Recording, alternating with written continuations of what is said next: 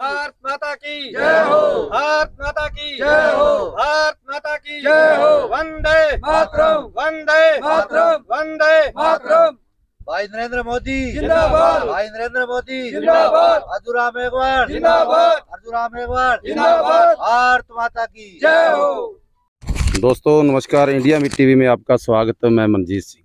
आज लाइव इसलिए हुए हैं कि हमारी 40 सालों की पुरानी मांग रावड़ा सिरोजी रोड के लिए, निर्माण के लिए दो दिन रोज पहले एक केंद्रीय मंत्री अर्जुन जी मेघवाल जी, जिनके नेतृत्व में इसकी सड़क का निर्माण होना निश्चित पाया है।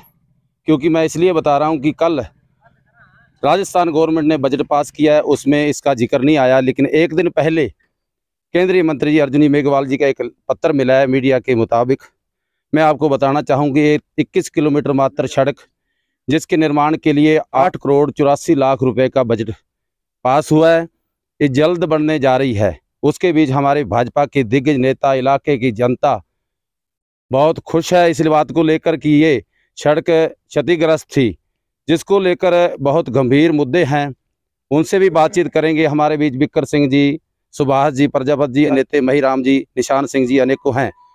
अंग्रेज़ सिंह जी, बातचीत करते चलेंगे कि आज वो यहाँ आए हैं। लोगों ने कहा है कि भाजपा ने एक अच्छा विकल्प ढूंढा है कि इस रोड का निर्माण उनके नेतृत्व में होना अच्छा पाया गया। हमारे बीच हैं, आप बातचीत करेंगे बिक्कर सिंह जी से कि आज क्या आप संदेश लेके आए हो और क्या आप कहना चाहते हो? विक्र सिंह जी, हमारे चैनल में आपका स्वागत है जी। भारत माता की जय हो। सभी ग्रामवासियों को मेरी तरफ़ से नमस्कार, सत श्री अकाल।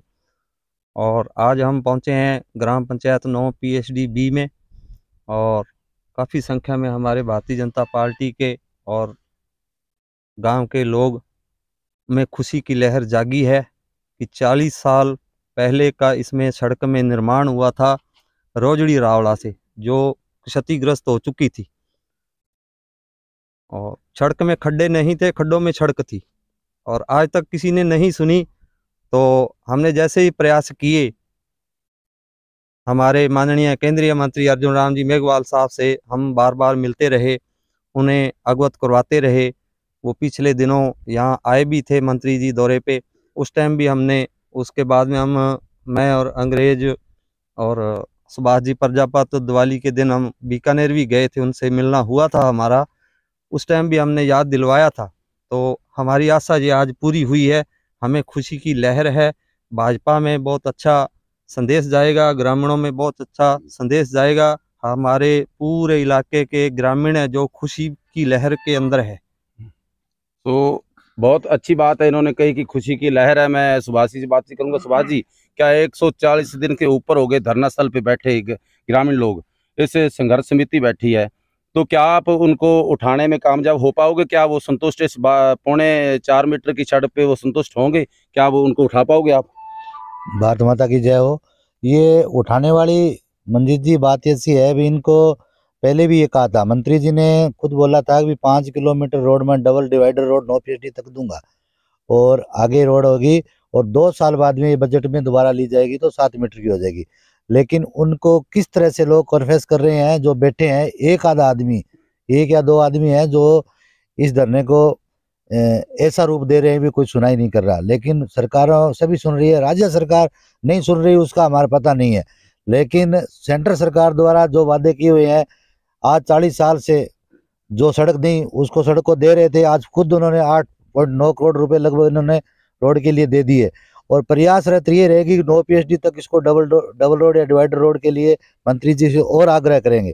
तो यही बात है और बाकी उठना ना उठना उनका काम है। वो तंबू उनका लगाया हुआ है ना है। कोई ऐसा नहीं। है भारत माता की जय। अर्जुन राम जी को बार बार धन्यवाद हमारा भी इन्होंने ये वो हमारा मान सम्मान रखा। देखो बात उठने की नहीं है। बात संतुष्ट करने की है। क्या महिराम से बातचीत करेंगे? महिराम जी आज आप उनके पास जाओ चंद आदमी जाओ तो वो क्या ऐसा प्रयास हो सकता है कि वो उठ जाएँ धरने को स्थगित कर दें? तो एक अच्छा संदेश जाएगा। इसके बाद आश्वासन दिया जा सके कि हम डबल करवाने में सरकार हमारी आती है या मंत्री से और मिलके प्रयास करेंगे नो पीएचडी तक डबल करवाने का, क्या ऐसा प्रयास हो सकता है अपनी तरफ़ से? प्रयास करेंगे हम अपनी तरफ़ से, सारी जनता की तरफ़ से, पार्टी की तरफ़ से। पहले तो मैं सबसे पहले धन्यवाद देता हूँ मंत्री जी महोदय का, जो रावड़ा से रोजरी तक 21 किलोमीटर की सड़क दी है।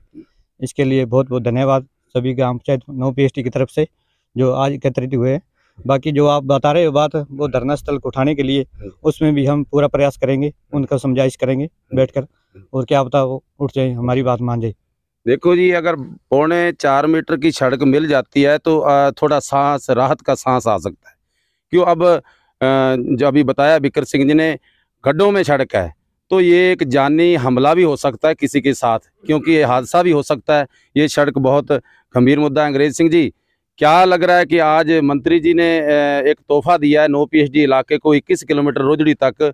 क्या लग रहा है कि आने वाले समय में ऐसा कुछ और सौगात मिलेगी रावला को, नो पीएचडी को? सबसे पहले मंजीत जी, आपका धन्यवाद, आपके चैनल का धन्यवाद। मैं धन्यवाद करूँगा प्रधानमंत्री नरेंद्र मोदी जी का, जिन्होंने प्रधानमंत्री ग्रामीण सड़क योजना में इस रोड का निर्माण के लिए अपनी अनुमति दे दी है। उससे धन्यवाद करूँगा ग्रामीण विकास मंत्री गिरिराज सिंह जी का और माननीय अर्जुन मेघवाल जी का जिन्होंने हमारे बार बार इस रोड को लेकर इस प्रयास को कि ये रोड बननी चाहिए। हमारी बात सुनी उस बात को रखा हमने बार बार उनको यही बात रखा कि ये रोड खस्ता हालत में है। तो माननीय मंत्री जी ने हमारे इस संदेश को ऊपर तक लेके गए और इस रोड को स्वीकृत कराया। मैं बहुत बहुत धन्यवाद करना चाहता हूँ अर्जुन मेघवाल जी का। जिन्होंने इस इलाके की ये सबसे बड़ी समस्या थी इस इस एरिए की। इसको 40 साल पूर्व में ये बनी हुई रोड को इस इस रोड को दोबारा निर्माण करने के लिए उन्होंने ये बजट स्वीकृत करवाया उसका धन्यवाद। सो so, देखो जी बहुत बहुत धन्यवाद मंत्री जी का हम चैनल के माध्यम से करते हैं कि आपने अच्छा किया कार्य। आप देखते रहिए इंडिया में टीवी जय हिंद जय भारत।